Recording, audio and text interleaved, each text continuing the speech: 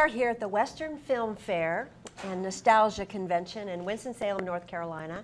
And with me is the youngest child of one of the most beloved and iconic American families in all of entertainment, and that's Roy Rogers and Dale Evans' youngest daughter, Dodie Rogers. I'm Thank so you. delighted to have met you today. I've heard Oh. about you for so long. So nice to meet you too. And um, you were the youngest child, and I understand that you are adopted.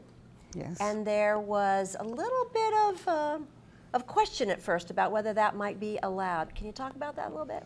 okay. Um, at the time, mom and dad were touring uh, the country after. Speak. Okay. after mom and dad um, lost their child, Robin, they were touring, going on tour across the country, and they stopped in Dallas, um, Hope Cottage, where Cheryl, dad's uh, first child, was born. And they had seen me earlier, some months before, and wanted to know if I was still there and if I was adoptable. And uh, so they went in, and uh, Dad said he hardly got the car stopped when Mom was out the door and up the stairs. And um, remembering where I was um, staying, she headed right for the uh, crib, and she had the nurses and the ladies um, running behind her saying, Mrs. Rogers, Mrs. Rogers. And she came and just scooped me up out of the crib. And the nurses were um, telling her, Oh, you can't do that. You can't touch the babies, you know. And she said, Oh, well, I want this one. and, and they said, Well, she's spoken for. And uh, someone has taken an interest in her, someone in the Dallas area. And the United Way um, sponsored Hope Cottage. So they wanted to keep Dallas um, personnel, uh, people there um, that United Way, um, they want to keep them in the area, keep the children.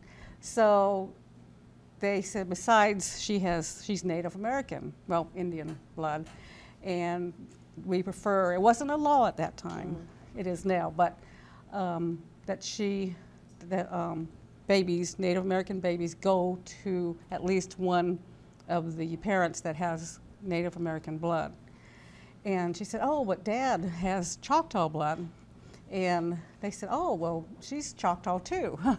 and they said, Okay. And uh, they said, But still, we can't just let you have her until we've gone through all the formalities. And um, she said, Well, you don't understand. You know, I just lost a child and I need her, and she needs me too.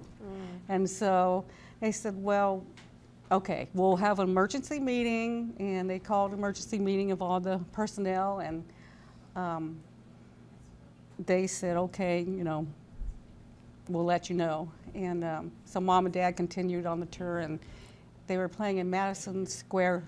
They were playing in Madison Square Gardens when they actually got the um, the word that they could adopt me. Oh. So they were very pleased with that, and they adopted Sandy on the same tour in Kentucky. So Wow. Oh, that's awesome. Yeah. And as I often tell my stepdaughter who is adopted, you weren't adopted, you were chosen. yes, So I, I love that. You weren't just born to us, we picked you. And your parents certainly picked you. That's awesome. Yes, and yes. something happened when you were 15 years old. I About 15, was that right? Did your parents A lot of things introduce happened. Yeah. what Do what we want to know your- all of yeah. them? I don't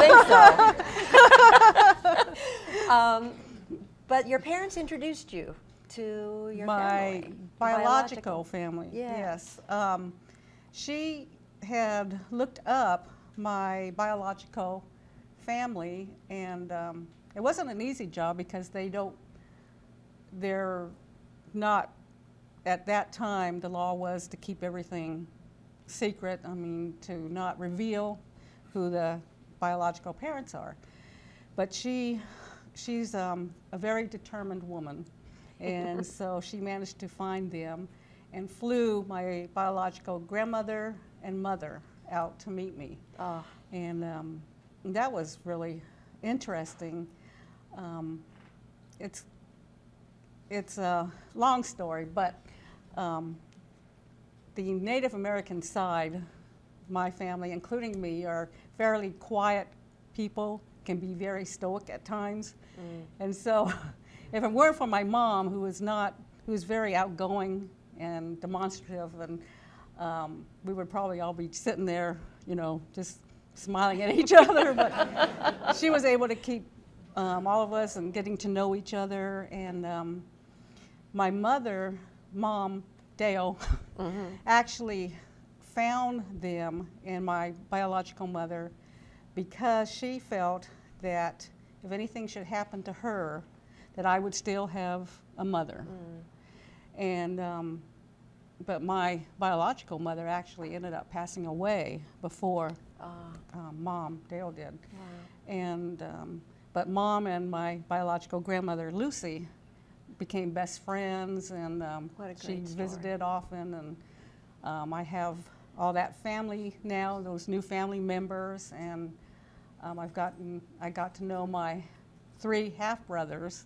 Two of them have passed away, but I have a lot of nieces and nephews, so on that side, so it's been really That's wonderful. fun to get to know them. And what a generous thing for your parents to do Yes. to introduce you. You know, I had the joy, like all of us who grew up believing that Roy and Dale were our parents. Um, I actually had the joy of getting to know them both. Oh, and good. um, I spent a day at the Roy Rogers Museum on a private tour with your mom and dad. The museum was closed that day. Nobody was there Oh, but my husband and me. And Roy took me around especially. And if you've ever been to Victorville, it's closed now, but in Victorville, California, the, the Roy Rogers Museum was just amazing. And I saw Trigger and everybody. and uh, we had lunch after. It was just great. And then Oh. I had the joy of being on your mother's TV show several Oh, times on the Dale Evans show. Oh, so great. very, very special. She loved that show. Oh, well, so, so did all of us who got to be with her on that show. And your parents had a, a deep faith, Mm-hmm. and they also were very committed philanthropists and charity minded. And did that philosophy impact your life as well? Uh, yes, um, it'd be hard not to because they always reached out to so many people that um, other people would sometimes forget existed. Um, um, all the challenged mentally, emotionally, um, physically, the abused, the, anyone in hospitals.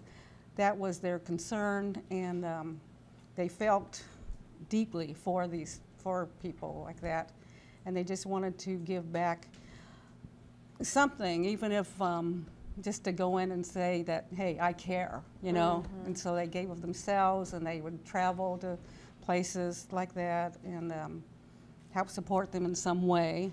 And um, so, yeah, Wow. it, it's just um, their heart.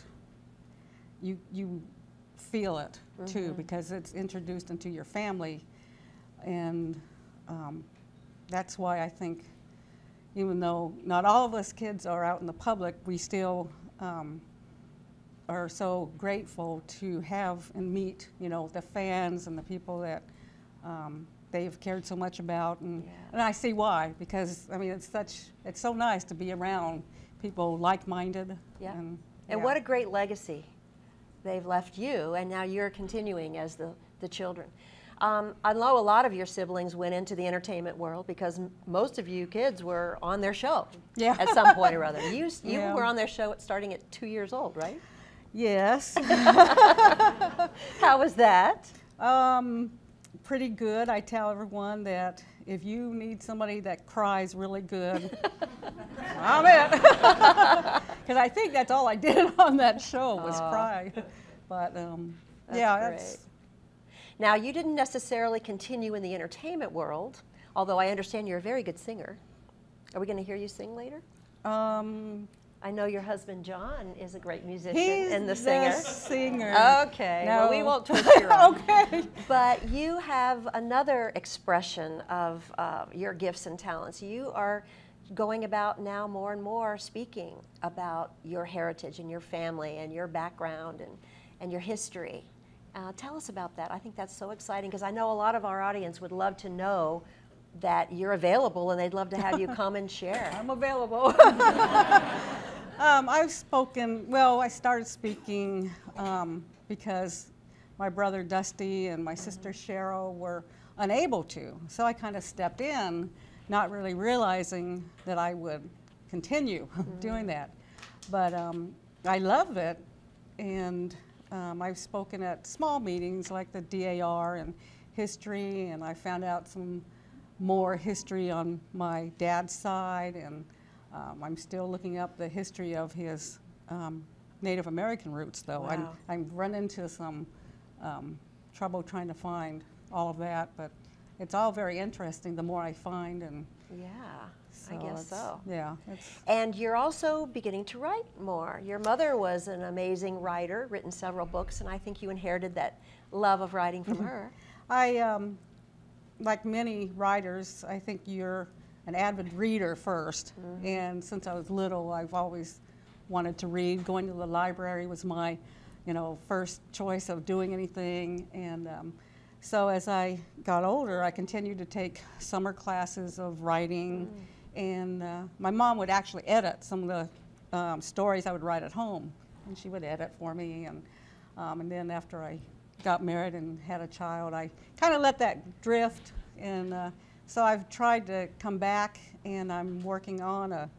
It started with a biography and then slash autobiography, and then I thought, well, just maybe my memoirs. So it's kind of, Ooh. I'm not sure what it's going to turn out to be. And when might we expect to see that? Do you have a, that's a good a question. deadline?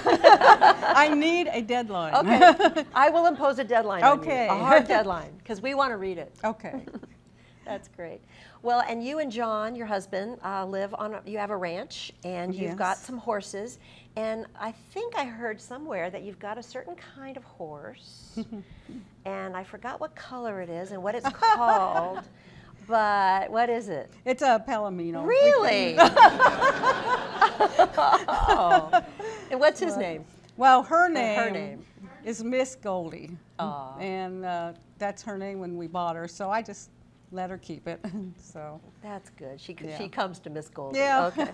and you also are a woman of many talents besides the writing and the music and the speaking. You also enjoy sewing and you do Oh. stained glass artwork. Yes, I haven't had a chance to do a lot lately because of the writing. But um, yes, I enjoyed stained glass. It's so beautiful, and to watch them put it together.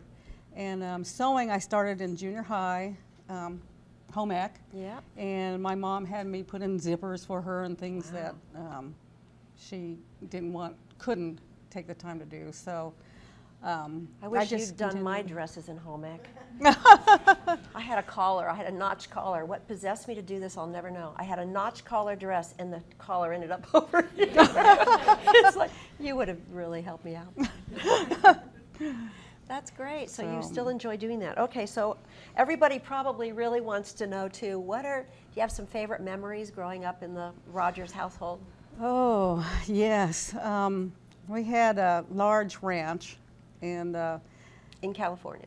yes, I was raised in California until last 14 years. and um, so my dad had a large ranch with horses and cows and lemon groves and orange groves and dogs and cats and, you know, you name it.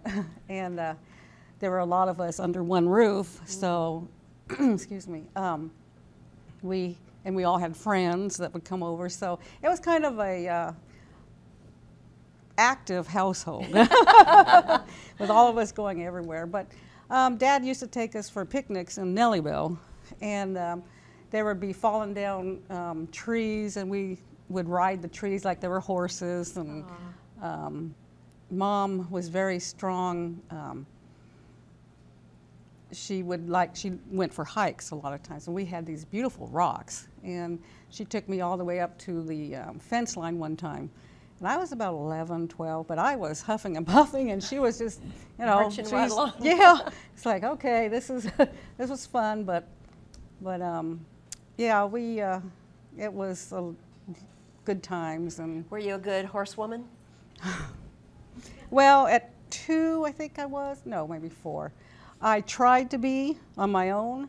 There was a horse next to the fence, and I went to put my leg over the horse that was not um, broke. Oh, boy. and someone saw me from the window and went hollering to Dale as she went um, hollering, trying to get me off, not to get on there. And mom comes running, and they're both running, and the lady, the help that we had there at the time, just scooped me off the, the fence before I could get on that horse. And it was it, like, what? you know, it's a nice horse, but. Um, I did start riding um, when we moved to Apple Valley. It was a place that was there was a lot of um, areas that you could ride, and all of my friends rode, and we had horses at the stables that if they didn't have their own horse, they could get one there, and so we just went riding all over the place, and we What had a a lot great of fun. childhood. Yeah. Oh my goodness. And with Roy and Dale. Oh my God. Mom and Dad. yeah. So, um, what's next for you besides your hard deadline on your book and traveling and speaking? What, what else is in the wind for you? I don't know. When I was 40, I worked at um, in a hospital, and my daughter said there the hospital was having problems. It was going to have to close, and she said they're uh, doing a um, there's a legal course for a paralegal, and she said let's sign up. And I thought, well, I'm 40 years old. I'm not going to just switch. And but I had to do something, so I said okay, and so um, I became a paralegal, and I love that. And I thought, well, why do you have to restrict yourself to any age at starting or stopping anything? You know, just whatever, especially at this age, I can, you know, go in whatever direction. So I haven't really thought about it. Good for you. But- what an inspiration. I think that's a good word for all of us. It's never too late to go down a new, challenging, wonderful experience and new road. so How can people find you? Do you have a website? How do you stay in touch with no, folks? not well. I had one, but it was difficult for Facebook? me. page? Yes. um, if anybody has ever seen me on Facebook, I'm on there quite regularly under Dodie Rogers. And um, I do have Gmail, um, little LTLDOE 52 E at gmail.com. So, um, and I am working on a um, website. I'm going to have someone do it though, because I'm Yeah. not very good. I'm not So, either. I could go in that field. You just need to get a seven-year-old to do that. Oh, yes, and I do, I do. I call my grandchildren, you know, right. help me. Oh gosh, well it's been an absolute delight to have you here. We are so Thank pleased that you're here with us Oh, on Victory Television too. Network and also at the Western Film Fair. Well, thank you so And, um, much. and I've heard about you for years, and it's just an honor for us to have uh, the daughter of Roy and Dale with us. It's an honor for you to ask me. Thank Thank you. you, Happy trails to you, Dodie. and to you too.